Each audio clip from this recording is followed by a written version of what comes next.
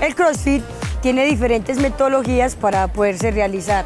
Ejemplo, se puede trabajar por tiempos, por repeticiones, por bases y obviamente todos los entrenamientos tienen un fin, ya sea mejorar la resistencia, mejorar la fuerza, para hipertrofiar. Todos los entrenamientos tienen un fin, por eso es importante planificar las clases antes de. Es uno de los entrenamientos donde tenemos más alta intensidad.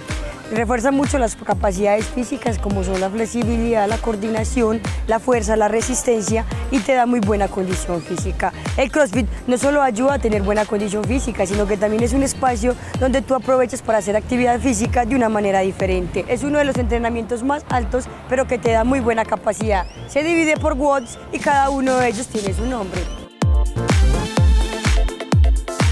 CrossFit ha sido una rutina de, de ejercicio físico a nivel mental, a nivel emocional, a nivel de, nuestro estado anímico ha mejorado muchísimo. Llevo en CrossFit alrededor de tres años eh, practicando unas rutinas todos los sábados en horas de la mañana. Es una rutina que se hace prácticamente puro ejercicio físico, midiendo tiempo, midiendo resistencia, mejorando potencia. El CrossFit ha sido una de las rutinas que ha mejorado. Eh, a nivel, lo digo personal, me ha mejorado mucho el estado físico.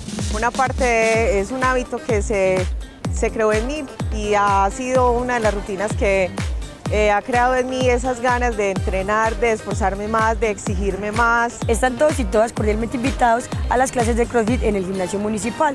Se hacen los días sábados, la primera es a las 4 y media de la mañana y la otra a las 6.